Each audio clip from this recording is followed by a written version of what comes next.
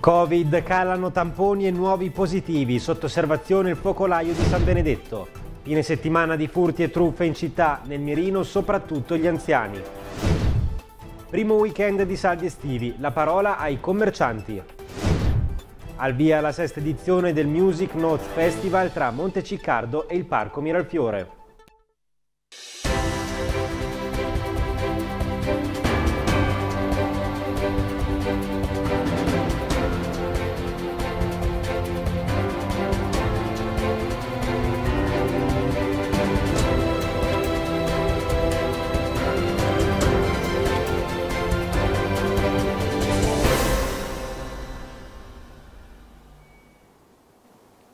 Una buona serata a tutti i telespettatori di Rossini TV, il canale 633 del Digitale Terrestre. Bentornati a un nuovo appuntamento con l'informazione del nostro telegiornale Rossini News. In apertura parliamo degli aggiornamenti coronavirus sul territorio regionale perché dopo diversi giorni di numeri in crescita, soprattutto nella provincia di Ascoli Piceno, nelle ultime 24 ore sono tornati a calare i nuovi contagi, complice anche il basso numero di tamponi processati rispetto al weekend. Proprio sul focolaio che ha avuto origine a San Benedetto nelle scorse giornate si è espresso questa mattina anche il governatore della regione Francesco Acquaroli. Tornano a calare i nuovi casi di Covid-19 in regione e in provincia. Dopo le ultime giornate in cui la risalita dei contagi nelle Marche aveva fatto registrare 73 nuovi positivi complessivi nel fine settimana, Oggi il Servizio Sanità della Regione ha notificato soltanto 4 nuovi casi di coronavirus su tutto il territorio regionale e di questi uno è appartenente alla provincia di Pesaro e Urbino. Da sottolineare però come ogni lunedì il minor numero di tamponi processati nelle ultime 24 ore, che dai poco meno dei 4.000 analizzati nel weekend sono passati ad essere 755. Nessun decesso è stato invece notificato nell'ultima giornata. La provincia di Pesaro Urbino conta 10 comuni con meno di 5 positivi ciascuno, mentre il territorio pesarese conta 7 persone attualmente positive e 83 in quarantena. 9 invece gli attuali positivi a Fano, 5 ad Urbino e 6 a Colli al Metauro. Gli occhi però rimangono tutti puntati sul focolaio che ha avuto origine a San Benedetto del Tronto e che ha fatto correre i contagi nella provincia di Ascoli Piceno, arrivando a sfiorare quasi 50 nuovi casi soltanto nell'ultimo weekend situazione sulla quale si è espresso questa mattina anche il governatore della regione Francesco Acquaroli, il quale ha invitato alla prudenza e al rispetto delle regole per far sì che non si verifichino situazioni analoghe e il conseguente rafforzamento delle restrizioni. Quello che vorrei far notare è che eh, è l'appello per cui eh, diciamo, sempre attenzione anche al di là della questione diciamo, mm, strettamente sanitaria per cui bisogna sempre fare attenzione, eh, io ipotizzavo se questo focolaio non, non, si limitasse solo ad un'azione, a una città, a una, a una singola fattispecie, ma se incidentalmente dovessero sorgere quattro focolai come questo, uno per provincia, cinque, uno per provincia, eh, noi torneremo purtroppo in zona ciarda. È per questo che dobbiamo fare attenzione, perché basta una svista o due sviste o tre sviste che coincidono nello stesso arco temporale e il danno economico alle libertà di tantissimi marchigiani, verrebbe, di tutti i marchigiani verrebbe compromessa. Quindi ecco, per questo bisogna fare attenzione. In primo piano parliamo anche di cronaca perché nel fine settimana appena passato sono state diverse le truffe e i furti messi a segno soprattutto ai danni di persone anziane. Vediamo. Assicurazione, bancomat o falsa conoscenza. Sono diverse le tecniche e gli approcci con cui malviventi e malintenzionati, anche in quest'ultimo fine settimana, hanno messo a segno truffe e furti su cui sono ora al lavoro i carabinieri per risalire all'identità dei responsabili e alla ricostruzione delle dinamiche degli eventi. I colpi eseguiti in rapida successione nel weekend hanno avuto origine nella mattinata di sabato, quando un'ottantenne, intenta rientrare presso la propria abitazione, è stata raggiunta da un uomo di mezza età che ha messo in atto la classica truffa dell'assicurazione comunicando all'anziana di dover ancora ricevere dei soldi da parte di sua figlia per il pagamento della polizza.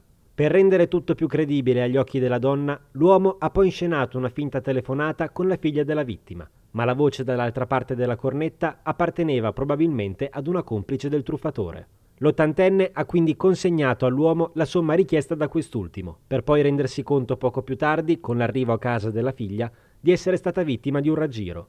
L'episodio è stato prontamente segnalato ai carabinieri, che si sono messi al lavoro per risalire al responsabile dell'accaduto.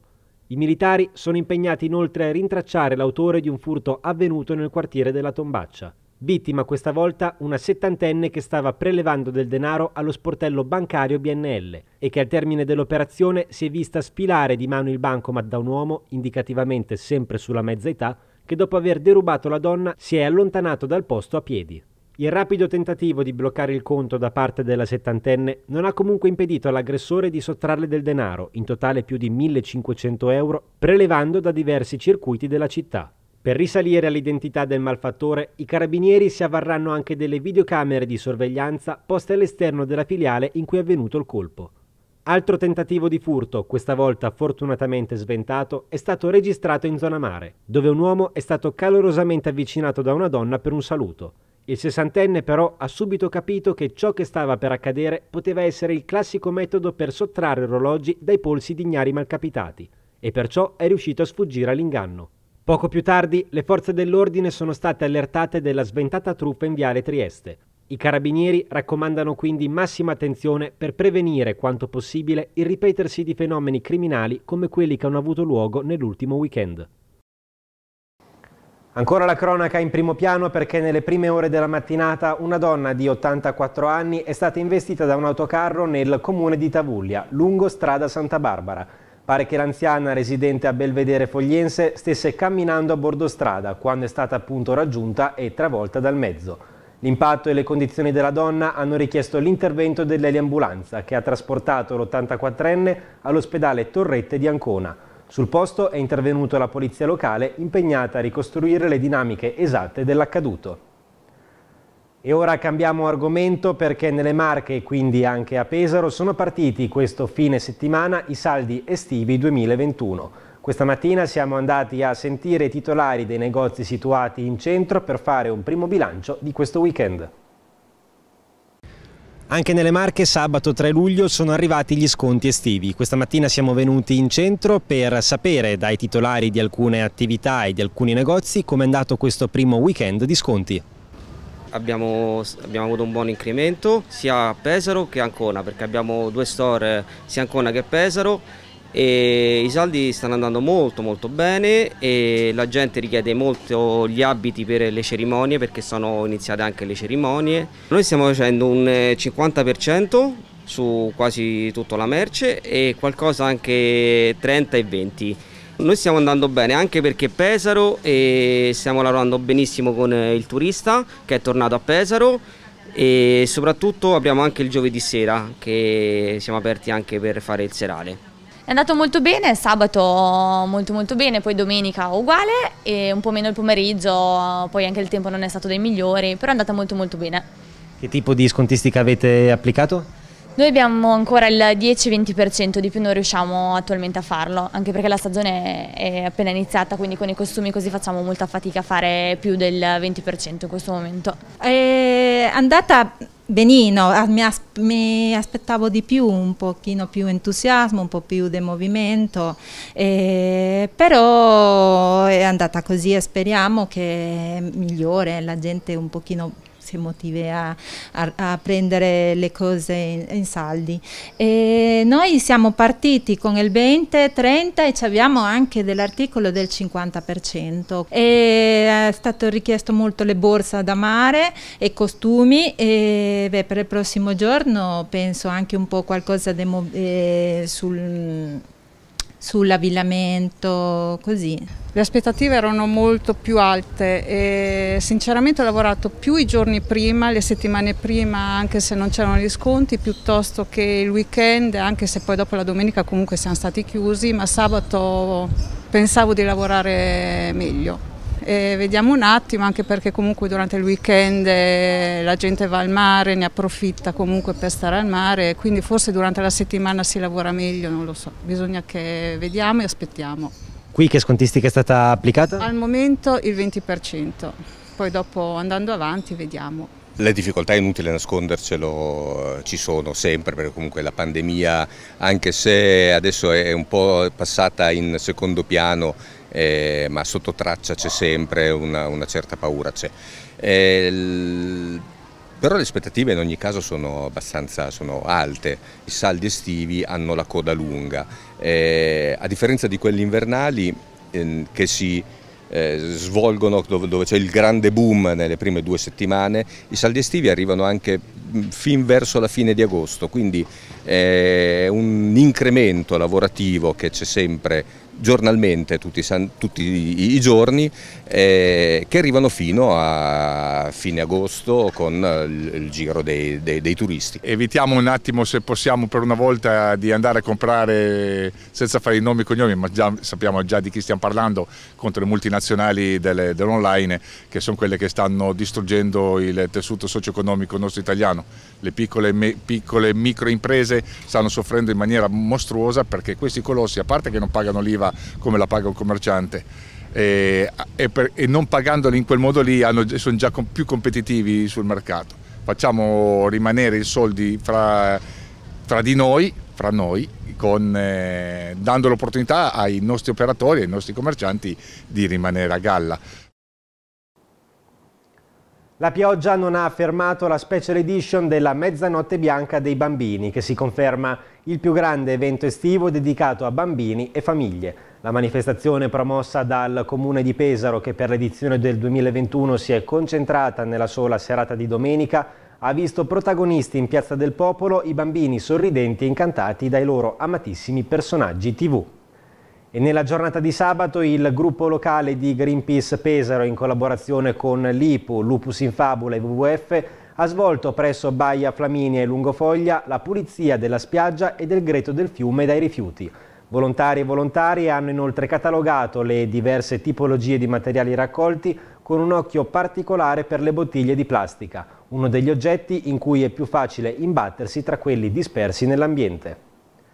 Musica e creatività per il primo appuntamento del mese di luglio con il Mercoledì degli Artisti. L'iniziativa promossa dall'assessorata al turismo del comune di Fano nell'ambito di Fano in plein air e in collaborazione con l'Orchestra Sinfonica Rossini torna il 7 luglio a ravvivare l'atmosfera della città della fortuna.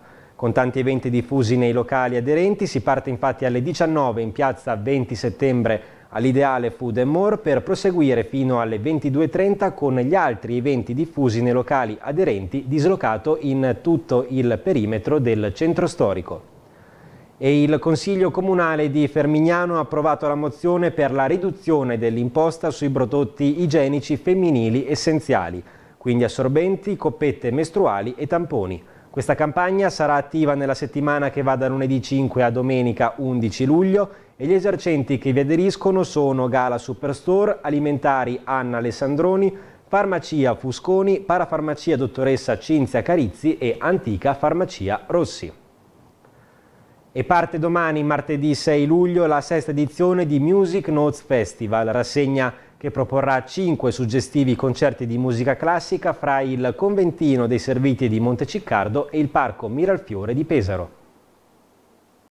È molto interessante secondo me il fatto che appunto si affianchi alle grandi proposte musicali della città con una sua identità molto precisa, che è un'identità di scoperta e soprattutto di invito a Pesaro di musicisti di grande valore che solitamente appunto non, non frequentavano la nostra città, quindi un, un, progetto sempre molto chiaro e molto coerente che quest'anno ha il, in più la possibilità di mostrarci anche un altro luogo importante che la città ha recuperato, ha voluto recuperare per il suo progetto culturale che è il Conventino dei Serviti di Maria di Monteciccardo e quindi appunto due spazi, il conventino e il parco, che insieme possono tornare a farsi palcoscenico per una proposta musicale di grande qualità. I primi tre concerti che si terranno al conventino dei Serviti di Maria di Monteciccardo hanno un'impronta decisamente cameristica. Nella prima serata, l'evento inaugurale, il protagonista sarà Niccolò Paganini, famoso come virtuoso del violino e della chitarra, ma in realtà anche grande compositore di musica da camera, probabilmente il più grande compositore di musica da camera del primo Ottocento italiano. Io alla chitarra insieme a Piercarlo Sacco al violino e alla viola e a Camilla Patria al violoncello eseguiremo due suoi terzetti. Mentre invece il 13 luglio, il martedì successivo, Andrea Turini, docente di pianoforte principale al Conservatorio Rossini, eh, terrà un recital solistico perfettamente bipartito fra due dei massimi geni della storia della musica, Bach e Debussy. L'ultimo concerto al conventino di Monteciccardo eh, mi vedrà accompagnare Juan Francisco Gatel, noto tenore argentino e più volte ospite del Rossino Opera Festival, eh, che accompagnerò appunto in un recital che andrà dalle musiche di Mozart a quelle di Piazzolla, per cui tra Europa e Sud America. I due eventi invece nell'arena del Parco Miralfiore avranno un taglio differente. Mercoledì 28 luglio ci sarà un concerto lirico con eh, Sara Rossini, soprano, e Riccardo Della Sciucca, tenore, mentre invece la serata conclusiva di Moon sarà un melologo con musiche di Astor Piazzolla eseguite da Andrea Dieci e Piercarlo Sacco, per cui in duo chitarra e violino o viola, eh, che saranno intervallate a poesie di Cesare Pavese per un spettacolo dal titolo E ti senti pulsare nel sangue, le poesie che verranno lette da Federica Fracassi, un'attrice che ha già lavorato con Amate tra le più importanti attrici italiane di questo momento. E parliamo ancora di eventi estivi e rassegna i nastri di partenza perché da mercoledì 7 luglio arriva l'ottava edizione di Vaghe Stelle dell'Orsa, rassegna poetica che per gli appuntamenti del 2021 torna in presenza. L'intervista è alla curatrice e alla direttrice artistica dell'evento, Laura Corraducci. Siamo giunti all'ottava edizione quest'anno, Vaghe Stelle dell'Orsa 2021, la rassegna eh, di poesia e anche di musica che curo io per l'assessorato alla bellezza e per la biblioteca Bobbato di Pesaro. Eh, quest'anno finalmente torniamo in presenza con le nostre tre serate. Eh, partiamo mercoledì 7 luglio alle 21 sempre nel cortile dei musei civici, cortile di Palazzo Mosca, con tre poeti e, e un duo di musicisti. E finiremo mercoledì 21 luglio, il secondo appuntamento invece sarà per un'eccezione giovedì 15 luglio, sempre alle 21, sempre eh, nel cortile dei musei civici. Seconda edizione durante la pandemia, l'ho detto lei, la novità di quest'anno è il ritorno in presenza, che aspettative ci sono per quest'anno e per questa nuova edizione? Guarda, le aspettative sono penso le aspettative di, di, tanti che stanno curando eventi culturali, non solo live, c'è questa voglia di ritornare in presenza. E abbiamo la possibilità quindi di avere non solo i poeti presenti, l'anno scorso erano online, ma di avere il pubblico tutte e tre le serate. Ci sono eh, 40 sedute, perché questo consente per il luogo la, la, legge, però speriamo di riempirle. Le aspettative sono di ricreare finalmente, come dice la parola in inglese, live, un evento che, che sia vivo, vivace, dove la poesia possa essere ancora più di impatto e così anche la musica. Ospiti e qualche anticipazione per eh, le date di quest'anno? Allora, il mercoledì 7 luglio, quest'anno ho scelto di fare così, eh, ci sono sempre tre poeti, ma i primi due presenteranno la loro poesia, mentre il terzo di ogni serata omaggerà un poeta o una eh, poetessa eh, famosa di cui è bello fare risentire i versi. La prima serata ci saranno Alberto Bertoni, Francesca Serragnoli e Anna Toscano che leggerà Goliarda Sapienza. La seconda, che sarà mh, mm, giovedì scusate, 15 luglio, eh, ci saranno eh, Matteo Fantuzzi, e Paolo Loreto e Isabella Leardini che leggerà Antonia Pozzi, quindi la poetessa famosa Antonia Pozzi. L'ultima serata, mercoledì 21 luglio, eh, Valerio Grutt, Mary Barbara Tolusso, Massimiliano Bardotti, che insieme a me leggerà un gigante, leggeremo un gigante della poesia che è Emily Dickinson. In chiusura quindi come è possibile partecipare? Allora, le, chiaramente la partecipazione è gratuita e um, io credo che magari fare un colpo di telefono ai, um, ai, musei civici è una cosa buona, quindi evitare magari se c'è un eccessivo assembramento, ma speriamo insomma che queste 40 sedie riusciamo a riempirle. Voglio dire una cosa che l'evento, abbiamo iniziato così l'anno scorso in piena pandemia, è possibile eh, vederlo anche in diretta Facebook sul canale di Pesaro Musei. Mi lasci dire un'ultima cosa sui musicisti, Ci, abbiamo diversi musicisti per ogni serata serata. La prima serata abbiamo un duo di chitarra e, e mm, sassofono, la seconda giovedì 15 luglio abbiamo un duo di violino e flauto, la terza abbiamo la grande fisarmonica di Raffaele Damen. Ed è stata inaugurata lo scorso venerdì in via San Francesco a Pesaro la nuova filiale di Riviera Banca, la quarta presente in città. Vi racconteremo nel dettaglio questo momento domani in prima serata alle 21.15 con uno speciale. Nel frattempo però vediamo un'anticipazione con l'intervista al presidente di Riviera Banca, Fausto Caldari. Ah, una nuova filiale perché andiamo avanti. E Riviera Banca va avanti, comprende le, le, esigenze sempre crescenti dei clienti e quindi la necessità di avere nuovi servizi, di dare nuovi prodotti, di avere un contatto diverso con, con eh, la gente, con i soci, con i clienti. E poi perché eh, è una, un inizio, una ripresa, stiamo uscendo dalla crisi e questa deve essere proprio una dimostrazione che ricominciamo. Insomma, ricominciamo eh, a vantaggio del territorio, a vantaggio della gente, a vantaggio di tutti coloro che hanno la buona volontà di, di essere utili. Anche nella struttura e come è stata arredata e progettata questa filiale ha molte connotazioni relative a Pesaro. Sì, e noi diciamo eh, abbiamo dei significati che indicano la pesaresità, cioè abbiamo ad esempio eh, sulla parete principale c'è una gigantografia che eh, riporta un'immagine di Pesaro, abbiamo all'ingresso ci sono delle ceramiche che, ha, eh, che hanno fatto e hanno progettato eh, gli studenti del Mengaroni. E riguardano alcuni partiti di, di Rossini e abbiamo um, giù, eh, appena si va giù per le scale, eh, abbiamo un altro segno secondo noi molto importante, abbiamo una bicicletta eh, stilizzata e, e un'architettura praticamente del, eh, di, una, di un artista molto importante e quindi è un po' tutto non pensato a caso ma tutto calcolato, valorizzato, cercando appunto di valorizzare Pesaro, la pesaresità, i sentimenti dei pesaresi.